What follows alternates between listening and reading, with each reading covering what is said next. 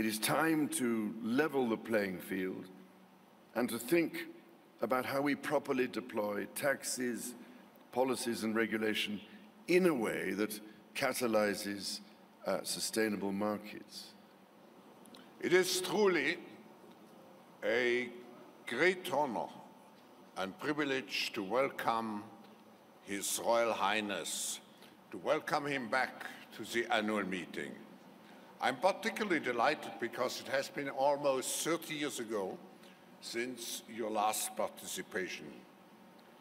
I sense the signals that we are reaching a global tipping point, as it has been mentioned many times here, in areas that are so close to the heart of His Royal Highness. Your Royal Highness, your years of dedication, passion, and work are highly relevant to the theme of this year's annual meeting, Stakeholders for a More Cohesive and a More Sustainable World. We are grateful for your leadership on stakeholder responsibility in accelerating the transition to a sustainable market.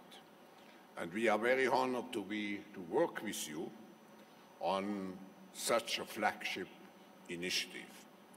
Today, we are all keen to hear from His Royal Highness his vision for a more cohesive and sustainable world.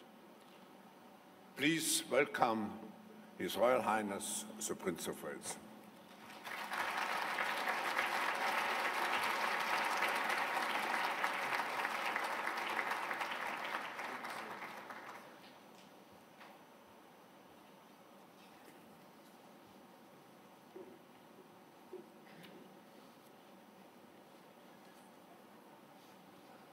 Ladies and gentlemen, I am most touched that Professor Klaus Schwab should have invited me to be with you as we mark the uh, 50th anniversary of the World Economic Forum and its mission to improve the state of the world. It is this mission and uh, the urgent need to shape the next 50 years that has inspired me to be with you here today after an absence of 30 years, I hate to tell you. Now, ladies and gentlemen, we are in the midst of a crisis that is now, I hope, well understood. Global warming, climate change, and the devastating loss of biodiversity are the greatest threats humanity has ever faced, and one largely of our own creation. Now, I have dedicated uh, much of my life to the restoration of harmony between humanity, nature, and the environment, and to the encouragement of corporate social and environmental responsibility. Quite frankly, it has been a bit of an uphill struggle. But now it is time to take it to the next level. In order to secure our future and to prosper, we need to evolve our economic model. Having been engaged in these issues since, I suppose, 1968, when I made my first speech on the environment, and having talked to countless experts across the globe over those decades, I've come to realize that it is not a lack of capital that is holding us back, but rather the way in which we deploy it. Therefore, to move forward, we need nothing short of a paradigm shift, one that inspires action at revolutionary levels and pace. And with this in mind, I am delighted to be launching a Sustainable Markets Initiative with the generous support of the World Economic Forum. For me, sustainable markets offer a new systems level framework which grounds markets in a higher purpose mission. In other words, putting people and planet at the heart of global value creation. Sustainable markets generate long-term value through the balance of natural, social, human and financial capital. Systems level change within sustainable markets is driven by consumer and investor demand, access to sustainable alternatives, and an enhanced partnership between the public, private, and philanthropic sectors. Sustainable markets can also inspire the technology, innovation, and scale that we so urgently need. The past decade has shown us just how quickly industry transformation can happen when you reimagine and re-engineer the business model. We need only look to mobile technology, electric vehicles, uh, the space industry, e-commerce, and online streaming for inspiration. Looking forward, new employment opportunities, entire new industries and markets rooted in sustainability are within our grasp, with the potential for unprecedented economic growth. Changing our uh, current trajectory will require bold and imaginative action, together with determination and decisive leadership. We all know the problem, and increasingly we agree on the direction. 2020 is the time for solutions and practical action. With our SDG and Paris commitments in mind, and the good news is that they are well within our reach if, ladies and gentlemen, we all pull together in a coordinated global initiative to tackle the greatest global threat. I would like uh, to outline 10 practical actions that will drive forward the sustainable markets approach. First of all, shifting our default setting to, su su to sustainable for sustainable markets, this means everyone in a leadership role putting genuine sustainability at the center of our business models, our analysis, our decisions, and our actions. In other words, put simply, we need to put nature and the protection of nature's capital, from which we draw an annual return, at the heart of how we operate. It also means further defining and developing the discipline and framework of sustainable markets and sustainable industries. Second, outlining responsible transition pathways to decarbonize and move to net zero. It is time for businesses, industries and countries alike to design and implement how they will decarbonize and transition to net zero. Moving together with clear roadmaps will create efficiencies and economies of scale that will allow us to leapfrog our collective progress and accelerate our transition.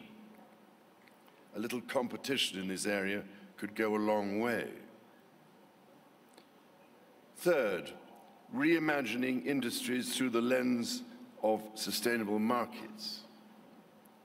Using a sustainable markets framework, we have an incredible opportunity to create entirely new sustainable industries, uh, products, services, and supply chains based on a circular bioeconomy, while in parallel helping to transition our existing systems. To do this, we must look at our markets using a business model approach to revenue generation and systems operations. Fourth, identifying game changers and barriers to transition. We need to identify, showcase and invest in the game-changing technologies and solutions that are emerging around the world. To accelerate, we must also identify the barriers to progress, be it policy, regulation, infrastructure, uh, investment, or the wider enabling environment. Now, often I've found It is simply about bringing the right people together to help lift those roadblocks out of the way. This convening role is, I hope, at least one practical contribution my Sustainable Markets Initiative can make. Because it is only by seeking out these game changers and barriers that we will be able to make tangible progress. Fifth, reversing perverse subsidies and improving incentives for sustainable alternatives.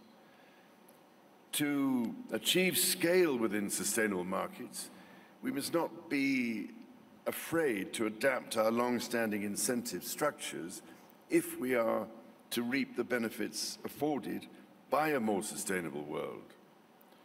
Reorientating economic subsidies, financial incentives, and regulations can have a dramatic and transformative effect on our market systems.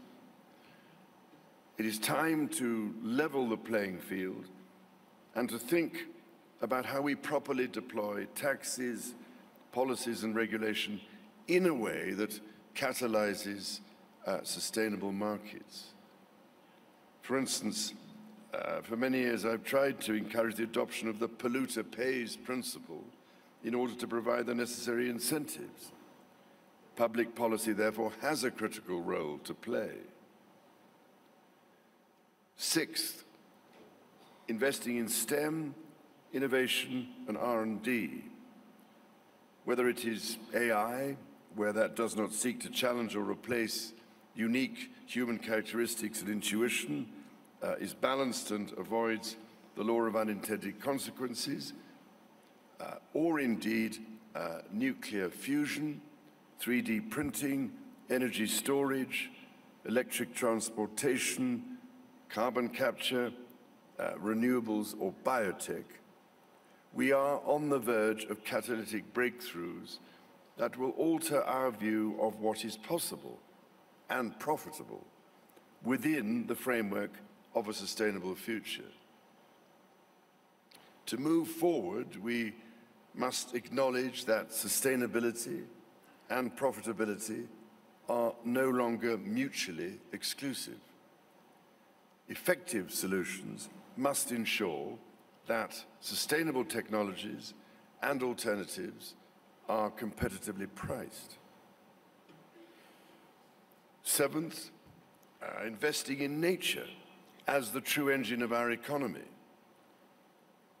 Beyond major innovations and technologies, we must also look to invest in nature-based solutions in sectors like agriculture, forestry and fisheries. Indeed, for all the resources that we take from the earth. Nature's contribution to the global economy is estimated to be worth more than $125 trillion annually greater than the entire world's annual GDP, estimated at $85.91 trillion in 2018.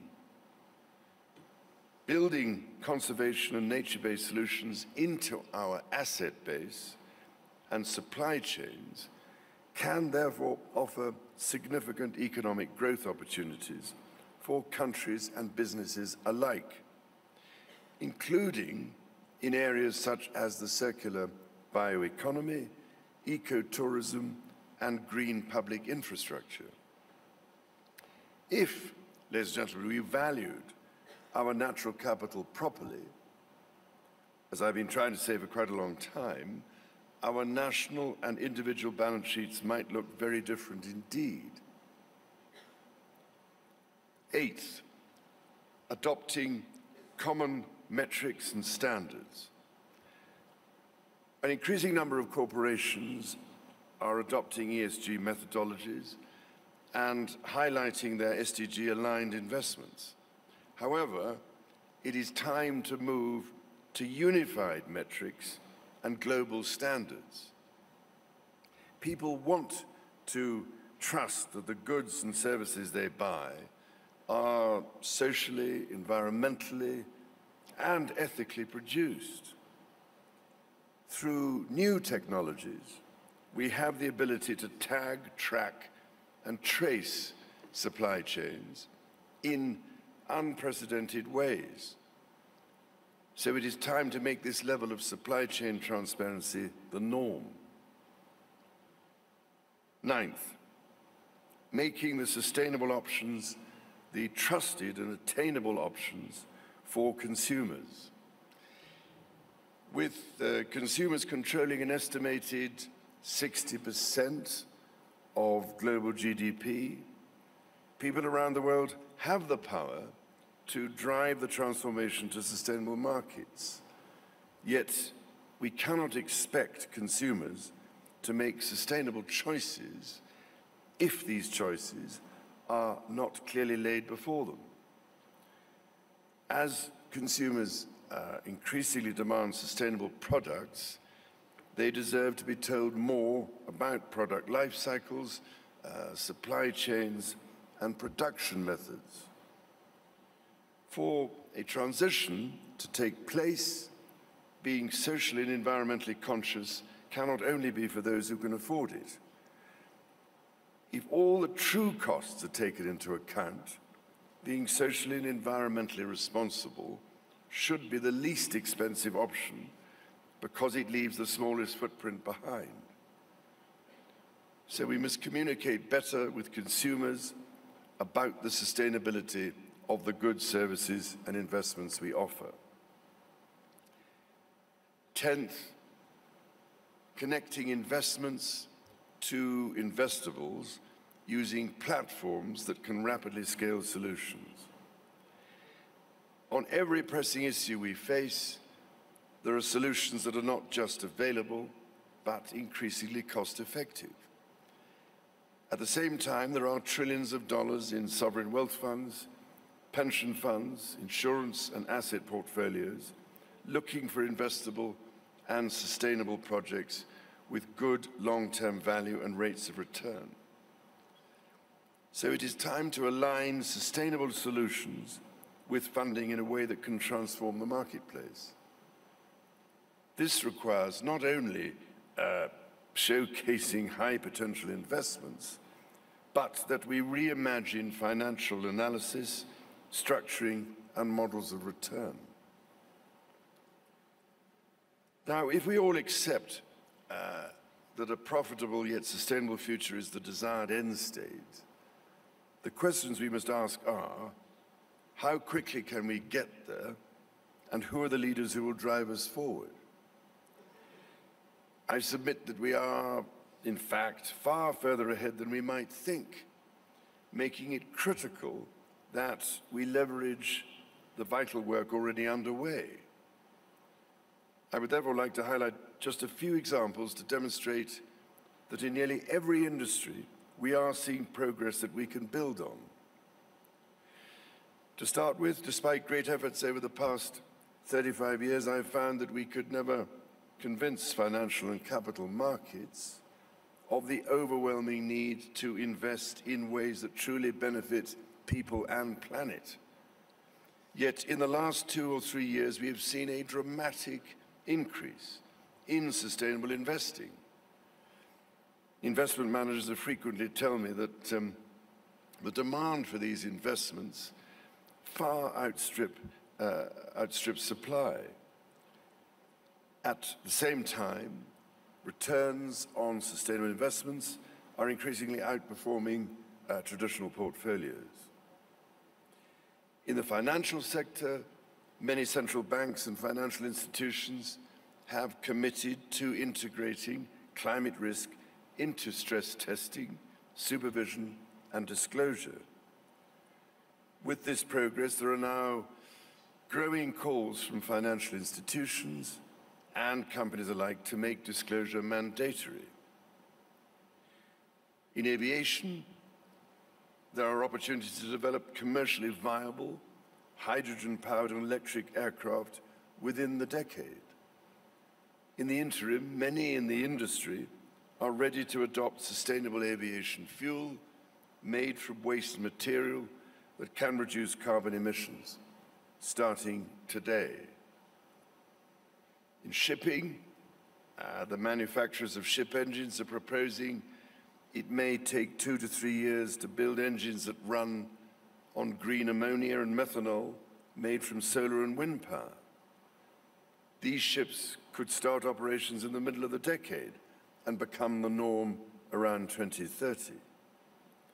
Now, this hasn't all been certified and tested, but if the industry and the regulators make a real effort, we can make it work, creating a real tipping point. In renewable energy, we are witnessing breakthroughs in the cost of solar that have the potential to revolutionize almost every industry. We are rapidly approaching a time when uh, renewable energy will be an order of magnitude cheaper than fossil fuels. In carbon capture and storage, there are a growing number of initiatives that might just buy us vital time as we make our transition to sustainable markets and a net zero economy. In forestry, ladies and gentlemen, we can now transform wood, the most versatile natural material on the planet, into a new generation of wood-based products capable of offering alternatives to plastics, chemicals, textiles, transport and construction. Increasingly, we are seeing that the bioeconomy has the potential to ignite new industries and fuel sustainable markets, thus providing at last the economic incentive to value the vastly important ecosystem services provided by the immense biodiversity and carbon capture potential of restored and expanded forests, along with huge opportunities in integrated agroforestry systems. When, when the right sustainable goods and services are developed, proved, and affordable, the choice to adopt them will become obvious. Truly, to seize these opportunities, we need to visualize the future and have the confidence to invest in it. If there is one critical lesson we have to learn from this crisis, it is that nature, ladies and gentlemen, is not a separate asset class. Nature is, in fact, the lifeblood of our financial markets. And as such, we must rapidly realign our own economy to mimic nature's economy and work in harmony with it.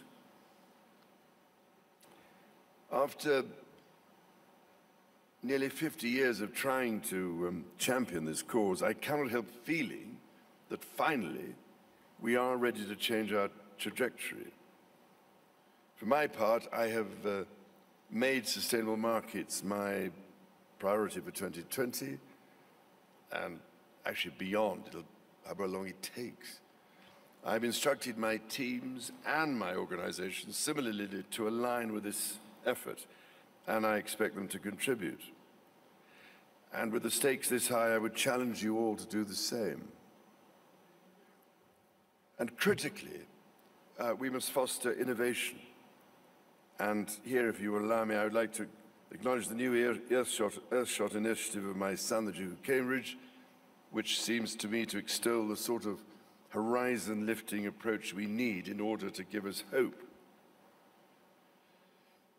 So, beginning here at Davos and throughout the year, and in order to identify game changers, investments and barriers to transition, I will be convening a broad range of industry and issue roundtables including, but not limited to, aviation, water, carbon capture and storage, shipping, forestry, plastics, financing, digital technology, the bioeconomy, nature-based solutions, renewable energy, battery storage, electric vehicles, fisheries, integrated healthcare, cement, steel, traceability and labeling, and agriculture, at the end of which I shall probably be dead. So, ladies and gentlemen, as we look to design and create sustainable markets and industries, these roundtables will bring together system innovators, investors, and decision makers to start designing and charting the course. I believe profoundly in the critical importance at this juncture of forming an unprecedented global alliance of investors which can genuinely mobilize the kind of trillions of dollars needed to put our economy on the correct path. This would be the most dramatic act of responsible leadership ever seen by the global private sector and would at once provide a catalytic incentive for the public sector to follow. So with 2020 being seen as the super year, kickstarting a decade of action for people and planet, there is also an opportunity to bring sustainable markets into focus in each of this year's major global meetings. While it will be a bit of a challenge for me to get to them all, I intend to do my utmost to ensure that the message of urgency systemic change, collaboration, and integration is heard.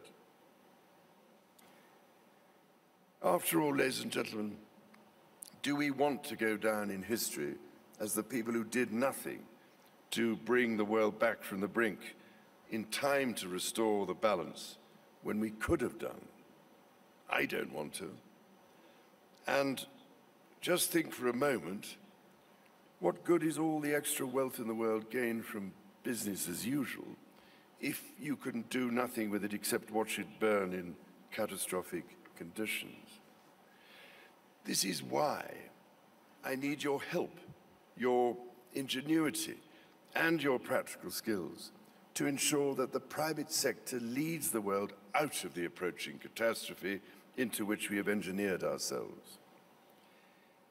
It is my greatest possible hope that you will join me this year in accelerating the transition to sustainable markets and rapid decarbonisation. Ladies and gentlemen, you all have a seat at the table as this must be the year that we put ourselves on the right track. Everything I've tried to do and urge over the past 50 years has been done with our children and grandchildren in mind. Because I did not want to be accused by them of doing nothing except prevaricate and deny the problem.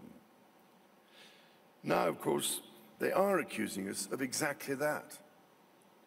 So put yourselves in their position, ladies and gentlemen. We simply cannot waste any more time. The only limit, the only limit is our willingness to act. And the time to act is now. Thank you, ladies and gentlemen.